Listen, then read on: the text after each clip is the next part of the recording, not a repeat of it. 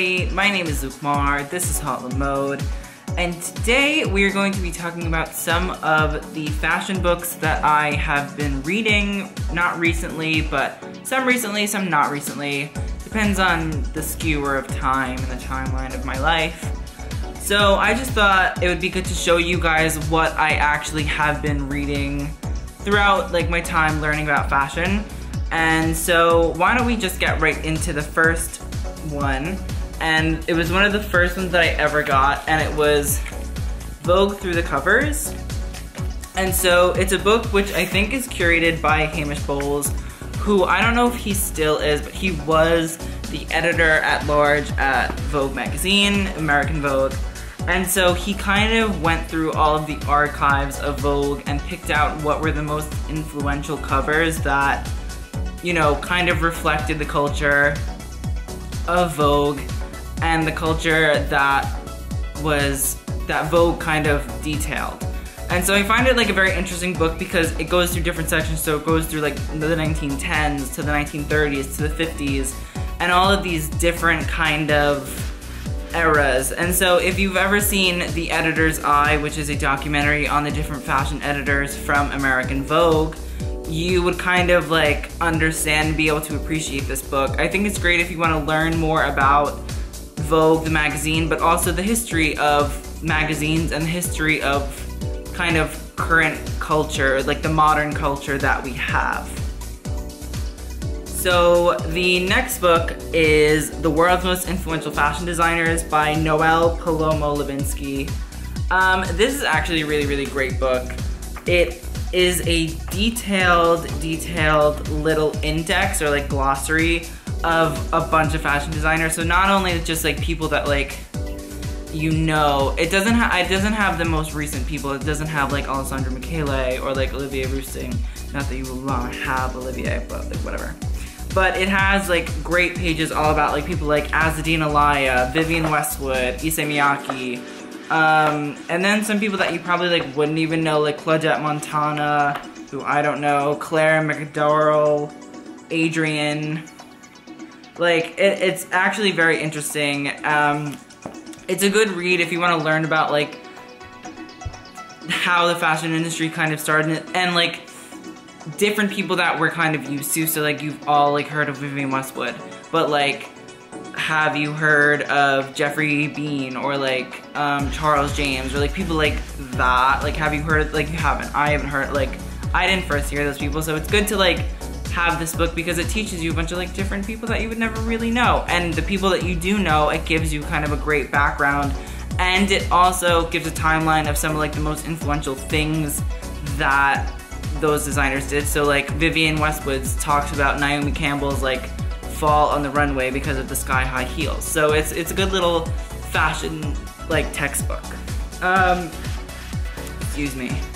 Next is the Alexander McQueen Savage Beauty book, which is a book that details the Met exhibition that was about Alexander McQueen after his death in 2010. And I think the exhibition was 2011, so this must have come out in that time frame.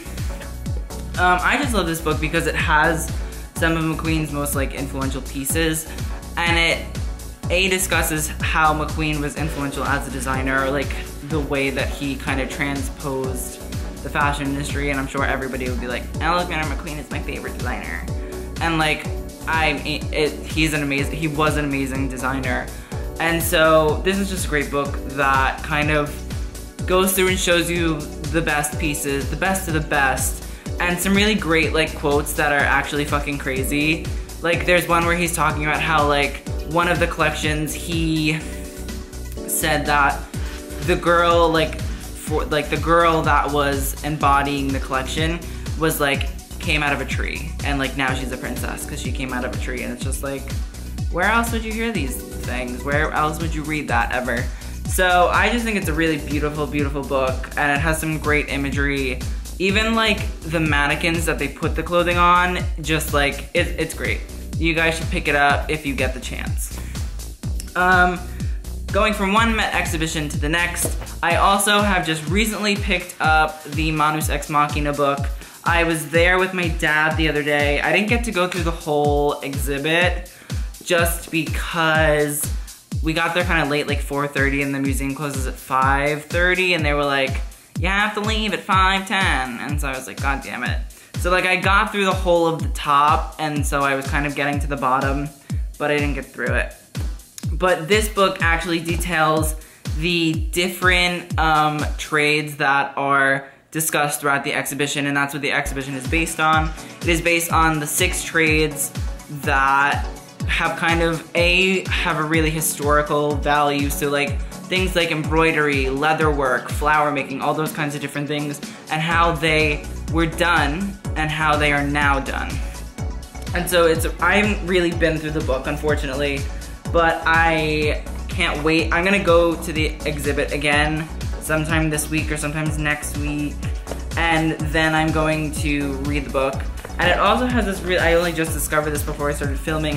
It has this book in the back of it, and it's a bunch of interviews from Andrew Bolton, who is the curator of the part of the museum that is the Costume Institute, with um, designers like Sarah Burton, Chilean, um, Maria Grazia Chiuri, and Pierpaolo Piccioli, um, Nicolas Ghesquière, and then the guys from Proenza, and all the different people that are featured very heavily in the exhibit. So that's a great book that if you guys get a chance to get to the Met, or if you don't get the chance, still pick up the book because you're gonna learn so much and you're gonna see all this stuff, it's just you won't see it in real life. Which kind of sucks because seeing this stuff in real life is really awesome. Like seeing the Prada dresses, I literally was dying. But you know, nonetheless. Um, and then we have, this is Alexa Chung's It, which is a memoir by Alexa Chung, who is really just like a socialite gal pal. I'm sure you've all like heard of her. She did a really, really awesome documentary that she's, I think she's gonna continue to do with British Vogue, and it's called The Future of Fashion. And it's just kind of like discussing all the different parts of the fashion industry that you don't really see. And so I thought it was a really great thing that she's done. She's like, she goes to every single show. She really loves the fashion industry, and I think like all like when I was in high school, like like sophomore junior year, like everybody was fucking obsessed with Alexa Chung because she was like this crazy girl that just didn't care. She still doesn't care, but like she was really big like when I was in high school. But um, so yeah, it, it's I haven't been through the whole thing. That's the thing. I haven't been through like all of these books because I get super bored reading. But um, it wasn't even this book isn't even really that expensive either. So I say you should just pick it up. Like the little paperback copy, and it's just like, it's like a picture book, and it just like, it gives you like also little things, like here's like a picture of Twiggy, and like, it's fun, and like, it's like literally so easy to read too. So, pick up It by Alexa Chung. Um, finally, not finally, second to finally, um, I have Patrick Demarchelier's book. It is just kind of this big picture book it's like a coffee table book. It just has some of like his really most influential photos. And it's not just like his fashion pictures. It's like there are some wildlife pictures in here. There are some portraits that he's done. So like he has shot like Roger Federer and like he was like a big Princess Diana of Wales, like, you know, taker of photos. So there's like a lot of different stuff. And some of his most like influential um, what's it called, Vogue pictures that he's done. I really enjoy this book. It's nice just to like have it. It's a good like detail of like some really good Vogue pictures too. Um, and so like I think my favorite picture is this one, maybe because I've seen it. And I'm sure you guys have probably seen this picture before, but it is one of the pictures from the September issue in which Grace Coddington, who was the creative director of Vogue, was fighting and saying that she didn't want um, the Photoshop guys to Photoshop the cameraman's stomach down.